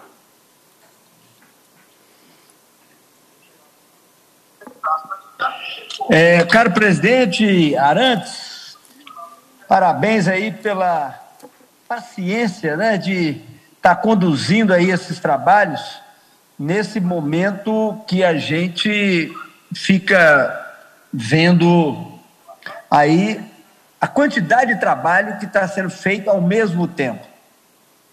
O nosso presidente, Agostinho Patrus, ele evidenciou a questão dessas novas emendas e teve um bom senso de conversar com o governador Zema para poder colocar que 75% dessas emendas dos deputados estaduais possam ir para a Secretaria de Estado da Saúde. E isso é muito bom, são 33 milhões de reais a mais para ser injetado agora nessa luta. E aí eu mandei um, uma correspondência para Agostinho Patrus, também para o líder do meu bloco, Cássio, sugerindo que os municípios eles têm recebido os municípios eles têm recebido os recursos do governo Bolsonaro e a situação de, dos hospitais, ela cada dia piora mais. Então, esse recurso ficou definido, que são 33 milhões, e aí os deputados vão lançar é, essas emendas aonde eles acham que a situação está mais complicada dos hospitais que estão enfrentando isso aí, vendo o preço dos insumos duplicar, triplicar, faltando medicamentos, uma situação muito complicada.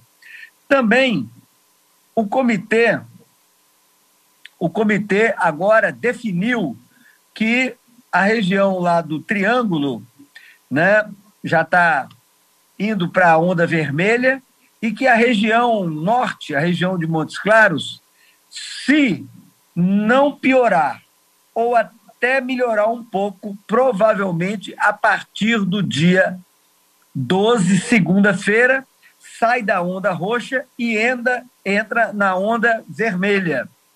Isso é uma situação muito importante, porque apesar dos negacionistas achar que tem jeito de que os governos têm dinheiro para poder mandar para município, para poder pagar folha de pagamento, realmente acaba não tendo, porque quando os comerciantes, o pessoal da os cabeleireiros, manicures, né, o prefeito Pirapora mesmo estava é, preocupadíssimo.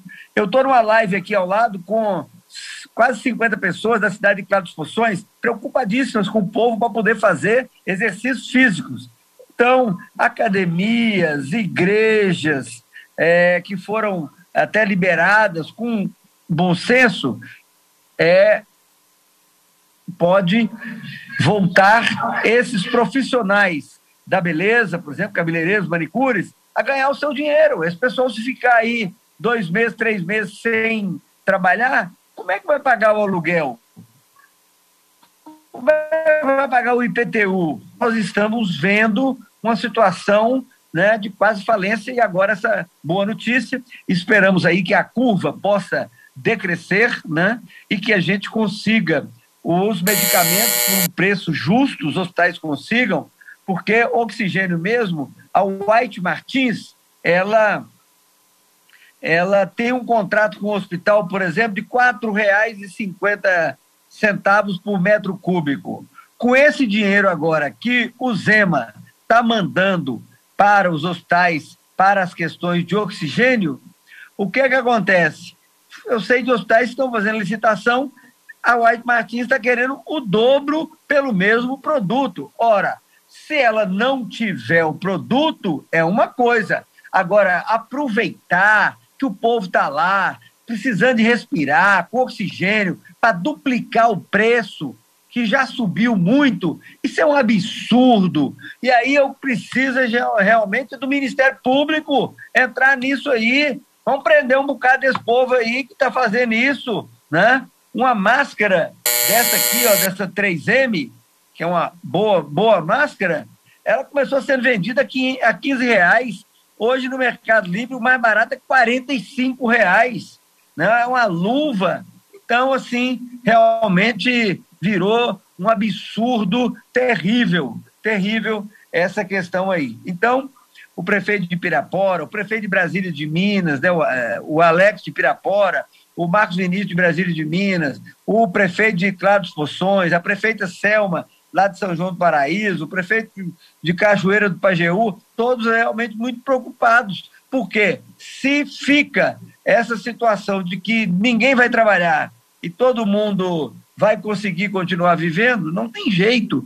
O agricultor familiar, por exemplo, como é que ele faz se ele não vendeu o alface que ele produziu ali aquela semana? Como é que ele faz? Então, a gente fica satisfeito de poder ver que o norte de Minas vai para a, a onda vermelha, provavelmente, na segunda-feira, né? desde que as condições não piorem. E como é que elas podem piorar? É se os irresponsáveis que querem ir para os botecos, né? que quer reunir, que quer fazer churrasco né? com 10, 20, 30 pessoas, se esses irresponsáveis, se eles tiverem um pouquinho de consciência, né? que eles vão levar a morte, às vezes, para pais deles, para as avós, né? que eles realmente não façam esse tipo. Não fazendo isso, nós já vamos conseguir baixar, ir para a onda vermelha, né? a vacinação está chegando, algumas cidades até uma quantidade maior, por exemplo, lá em São João da Ponte, o, o prefeito Danilo e o ex-prefeito Fábio, o Márcio Antônio, estavam me falando que foram 3 mil doses a mais porque eles têm uma população quilombola a mais, então o quilombola entrou na, na, na, na, previsão, na preferência, né? parece que não teve os 3 mil quilombolas para poder usar vacina, usou em 2 mil, 2.200, aí foram mais 800, então já estava bastando para quase 60 anos, né? É pegar essa vacina, distribuir e pedir à Secretaria de Saúde que realmente, sem feriado agora, se tiver vacina em caixa, vamos dar um jeito de poder é, vacinar o pessoal o máximo possível. Então era isso, senhor presidente. Muito obrigado. Né, e votamos hoje aí requerimentos de informações extremamente importantes para a população de Minas Gerais. E o governador Zema lança hoje o programa, o programa de é, empréstimo a juros subsidiários do BDNG para que as prefeituras possam fazer obras e, com isso, gerar renda, gerar emprego, gerar melhor qualidade de vida para a população. Um grande abraço para todos. Muito obrigado, deputado Armin Santiago. A presidência encerra a reunião e convoca os deputados e os deputados para, para, a ordinária de amanhã, dia 8, às 14 horas, com a ordem do dia a ser publicada. Levanta-se a reunião. São quatro horas e seis minutos da tarde desta quarta.